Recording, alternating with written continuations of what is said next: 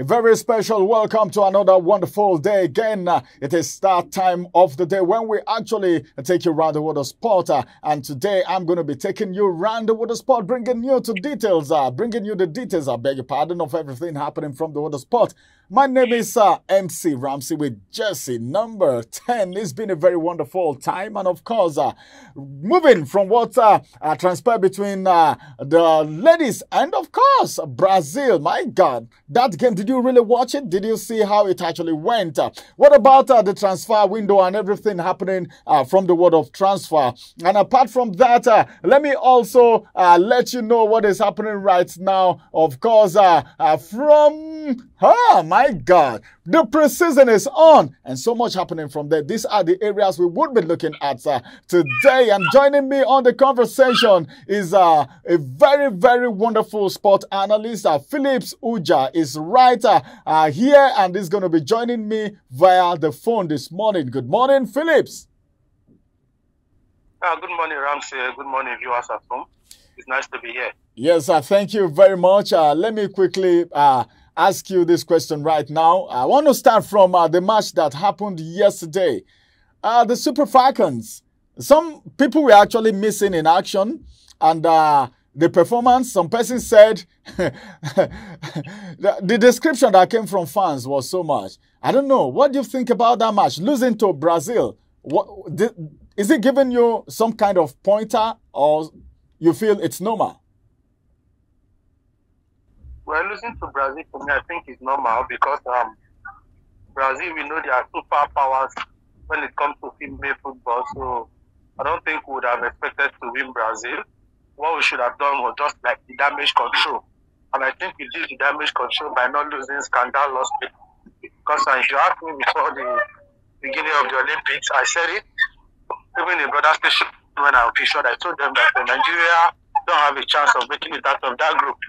The best we can get out of that group is best losers. And that is just the truth. The truth is that time we become realistic rather than being patriotic or being sentimental or using a kind of tribalism to judge what we can achieve. These girls, don't were the days where we used to lose um like seven nil, five nil, or four nil. So for them to have lost one nil, to me, I think that is a fair result because I never see us winning the Brazilian. For sure, we can see the match. Uh, when we started, we started the game very calmly, as if we were going to get something out of it. But before we could enter the second half, the whole game changed, and then we saw how the, just the long goal they scored, they held on to it, and we could not um, come back from it, and then we lost that game. I'm sure that our next match, Japan, are able to more, much more tougher than this because Japan is also a good team. They also lost narrowly to Spain, so coming to play us or playing Spain is going to be a very difficult one for us. So, to me, I think um, our girls, they have got fun, enjoy themselves, and then uh, come back or go back to their club side and continue their football. But for us getting any good thing out of this Olympic, for me, I'm not, I'm not in that uh, school of thought. Hello, Phillips. Come again. I said Yes, um, can hear you. the chances of Nigeria uh, uh, generally, as it has to do with other sports and the Olympics. What do you think about the Olympics? You know, um, sometimes uh, people don't get interested watching this game, especially when we don't have um, uh, some people featuring in major games. What's the chances of Nigeria as far as um, the Olympics is actually concerned? Well, um, for the Olympics, um, I think um, we have chances in so many sports. We have some fair chances in athletics. Uh, because when we talk about the likes of Tobi Amusan, all these um, Favor and the uh, Ofili and the rest of them in the athletics events, we might have some fair chances both in the hurdles and uh, maybe 4 by 100 or personal 100 or 200 meters. You understand? Even um, Uzi one of the the short putter, uh, she also has given us some hope because he, he coming fresh from the African Championship when he won us some medals. So I think um, by and large we are going to have fair chances competing against other teams. But mind this is the Olympics. This Yeah. When you go to the Olympics, you, are, you tend to meet, just like the World Cup, you meet all the countries from all the different continents.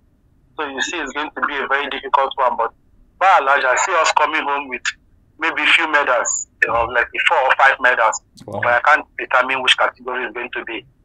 All right, I think that that's fair enough. If we come home with um that number of medal, I think uh, it's fair enough because we're talking about Olympics here. Like you said, a lot of people are coming from other countries, and um, a lot of people are coming from other countries, and majority of them are experts. So if they come back with um four or five medals, considering the fact that it's Olympic, but um, if you check the ratio of the medal to the athletes we are presenting, some might say it is poor because I learned we are taking over 82 athletes minus the 18 footballers.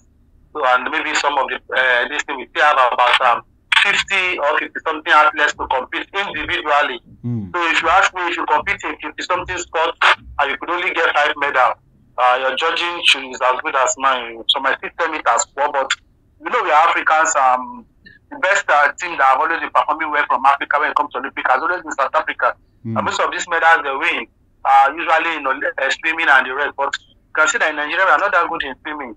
So um, that is what it is. But just hope for the best for the same. All right. Uh, thank you very much, Philip, for that. Uh, let's leave Nigeria a little bit and talk about uh, things happening from the world of transfer. How far has it been in the world of transfer? So many things surrounding uh, the transfer of uh, Victor Osimhen. Some persons are saying, uh, well, maybe the owners are trying to play some kind of what Nigerians call ojoro, and um, the, the, pricing is something else. And of course, um, Osimhen right now, as at um, a few days ago, it was PSG. Um, not people are not even talking about PSG anymore you know, and um, the whole thing, the back and forth is so much. That's for Osimhen. Then other transfers going on, and uh, the different clubs, their preparations as they get ready for the upcoming season. What would you have to say about the transfer generally? Well, um, for Victor Osimhen, I actually I saw it coming. Why? Because um, if you observe, Osimhen, the guys to say um, make hay while the sun shines. Last season, the season before this one that just ended, it was all unsung in Europe. I think it was about the hottest striker in Europe, him and Erling Haaland.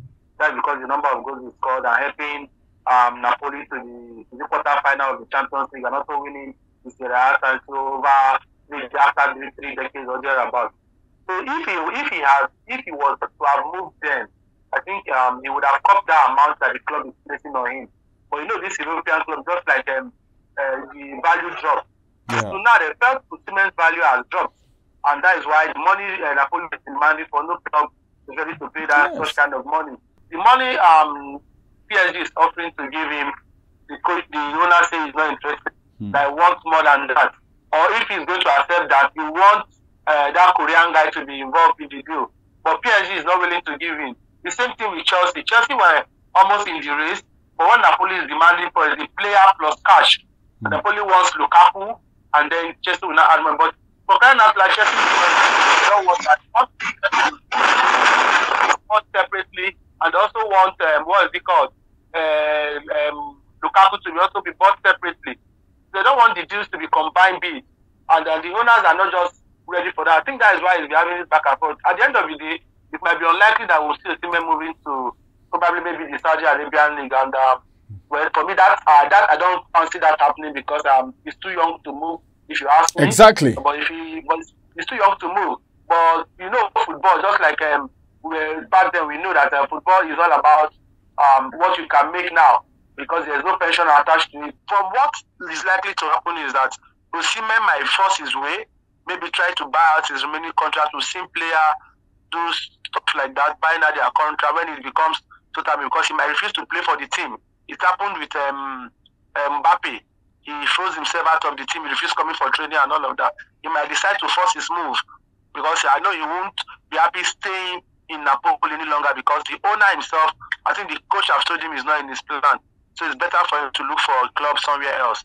But, but Saudi Arabia, uh, you, what do you think? Because you were trying to say something about Saudi Arabia. Do you do you think I'm um, going to Saudi Arabia will be the best for him? I know money is involved, and a lot of people play because of the money. But now his age and his career, don't you think it's too early?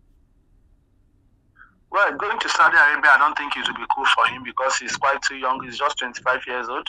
Um, in Saudi Arabia, we knew uh, for players that are like 29, 30 or thereabouts. But you know, this is money. Football, just like I said, um, it was Anthony that told us back then that football has no pension. So that was when he moved to China. So if he wants to move, and uh, money might also be a tempting factor, because I learned what PSG is demanding that the Saudi Arabian uh, club are willing to pay. Mm. You understand? So at times it's Too not much about money. money, but uh, for Siemens, you want to consider his career. Because if he moves to Saudi Arabia, I bet you he might not be rated, uh, be nominated for African Best anytime soon. Yes. So he might want to stay in Europe to remain relevant. You understand? So I feel more club might still come for him. Don't be surprised. Maybe it seems like Arsenal. Might just just that the money they're asking is too much. But if they can cover that money, Arsenal is also a good team. I would have loved to see him play for, if not for PSG. All right. Um. Finally, before I let you go, um, how do you think the teams are faring so far, uh, in this preseason? Well, um, in preseason, uh, some teams have played barely two matches. Um, Man United played. We saw them. We saw their news as Euro, and then we saw how he has blended, how he has played, how he played in the team. We also saw Chelsea. We saw um, Arsenal. Uh, I watched Arsenal two days back. I also watched Chelsea early, early in the day of the, um, on, on Wednesday. Um, but to me, the, the, the, for Chelsea, I'm not being convinced with what the so-called new Italian Pep Guardiola is doing. That is Enzo Maresca. I'm not happy with the what I saw uh, because um, just the same way we saw Chelsea last season, the firepower in the attack is still not there. But I'm surprised that up till now, Chelsea have not gone for an A-list top nine. Because I, I, for one, I would have think that since they know that they one of their major challenges last season was getting the goals, because you know that uh, Jackson is not just there. You would have made your priority right, set your priority Yes. straight, go for a point man.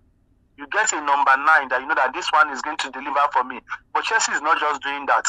And all they have been going for are midfielders, and they went and bought a certain Magui from Barcelona and the rest of that. I mean, a, a coach or a team that is hungry for trophies or hungry for for for good things. I don't think they'll be turning around buying one or two players that are not A-list players. Why not go for one of these current hot strikers in Europe? Of course, this is Chelsea we are talking about. Despite the fact that they're now playing the Champions League, we can see that they were, they, they were nominated for the FIFA World Club, World Club Cup. That shows that they are still a big team in Europe. Understand? So that uh, for now, I'm thinking they should have gone for quality striker. All I'm seeing them going for, to me, they are not top strikers. The same thing goes for Arsenal. Arsenal, I saw the way they played. They drew the match and then they won via penalty. Yeah, for City, we can make a case for City. Yes, they lost 4 3 to Celtic, the Scottish um, champion. But I think their own loss is understandable because about 80% of their first team players, they all played in the Euros and they're yet back. So that one is well understood. But for this other team, they have the bulk of their players intact. But yet, they are, they, they are not giving us the convincing result. Man United won their match, and I think um, the coach, is, to, so, to me, somehow is beginning to have a good um, understanding of the team. And we want to see how the season pans out. Uh, it's, some will say it is too early to call because this is just the preseason. But at times from the preseason, we'll know how the season is going to be like. All right. Thank you very much, Philip, for joining us on Sport Rush today. Thank you very much. I appreciate it. All right. As a matter of fact, this is going to be the size of the Sport Rush today. Uh, Phillips has spoken very well, and um, he has made us to understand that uh, some of the clubs, some of the teams are not doing what they're supposed to do, not getting the players they are supposed to get, especially uh, Chelsea. And of course, the preseason games going on. He has also said, well, uh, other teams are not matching up to expectation, except for uh, Manchester City that were given a little consideration because most of their big players, actually like 80%, like he said, went out for Euro, and uh, of course they have not returned back, and that was why uh, Celtic uh, uh, will have to win them the Scottish Cup. All right, uh, this is going to be the size of a spot rush for Friday. Today will come on the way again, and I want to say, keep your fingers crossed. Just um, keep watching and uh, keep listening to everything that has to do with sport because something good is about happening from the world of sport, and I tell you that uh, this forthcoming season is going to be very, very superb because uh, a lot of things are going down. But then, Osimhen, what's the hope of Osimhen? Do you want Osimhen to go to Saudi Arabia or you want him to come to England? Wherever and whatever it is, you will get to know on this platform. My name is MC Ramsey with Jesse number 10. Bye bye for now and have a wonderful weekend ahead of you.